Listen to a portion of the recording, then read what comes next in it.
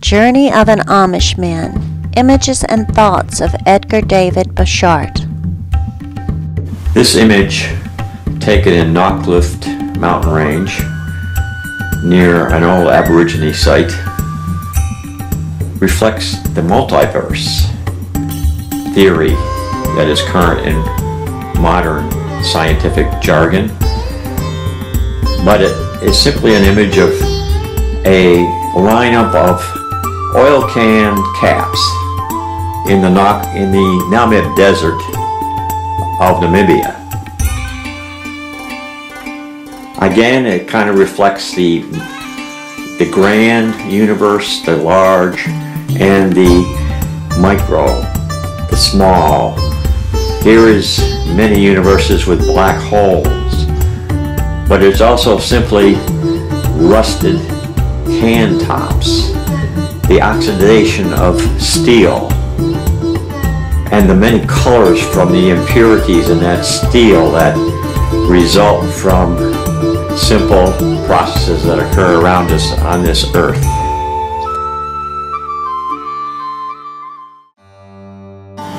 This image, uh, taken in the Taklamakan Desert of western China, is a rare example of a mosque that incorporates the dual characteristics of two religions, Buddhism and Islam.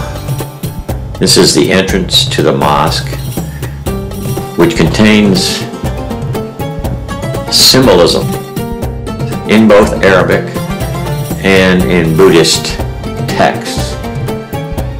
Along the outer edges are reverse swastika forms, while the writing over the main arch of the mosque is in Arabic.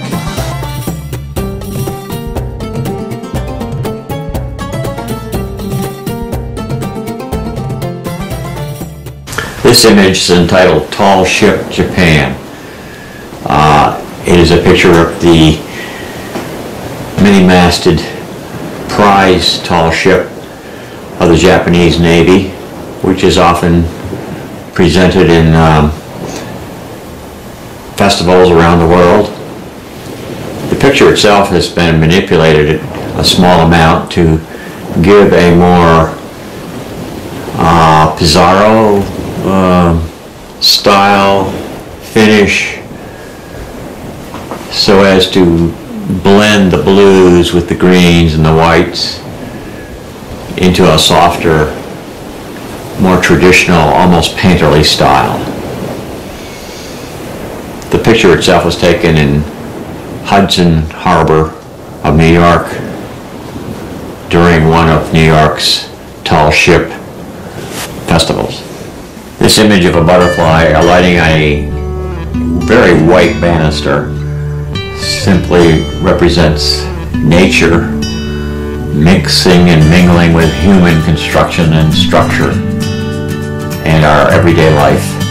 However, the yellow, the brilliance of the color, again, reflects nature's infinite creativity in the range of colors that are used by its creatures.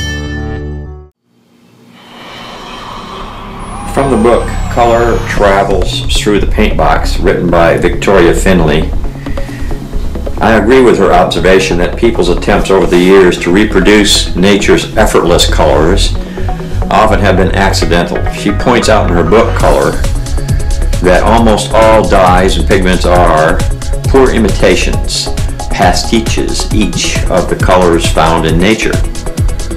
Our human senses, not just our eyesight, are bombarded by a hodgepodge of impressions that are sorted and filed and resurrected and rearranged again when needed to push our existence forward on the journey. And part of the information that I treat as key to my rational decisions is not only the structural integrity of objects roundabout, but also color.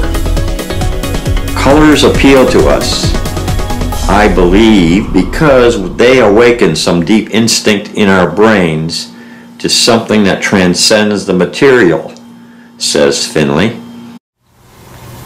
This image is a photograph of one of the large 20 to 30 foot tall moai on the Easter Island in the South Pacific, right at sunset, looking directly into the sunshine as the shadow makes clear.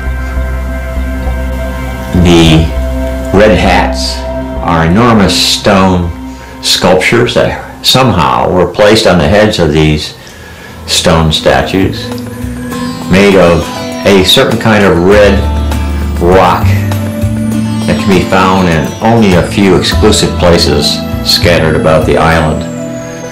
The eyes were painted by the original natives to give the stone statue the ability to guard the island from its position on the shore. This is one of my more popular images with viewers, although very few people can guess what it is. It's actually the China nets off the Arabian Sea along the western coast of India. These are greenish, large, very large nets on long wooden poles that are lowered by weights by adjusting of levers and pulleys off the shore into the water and then raised again, catching whatever is passing by in the sea at that time um, into its folds and then transferred to market. This is at sunset off the Kerala coast. I'm a traveler just as you are. I write to and for others like me. My journey was and will be different from yours, but there are things, places, experiences, and thoughts we share in a lifetime. We, you and I, live together on a planet of infinite diversity and complexity, sharing a much larger universe full of more wonders, very large and very tiny. There are things that can be visualized easily, but other elements of existence are more enigmatic and not easily described.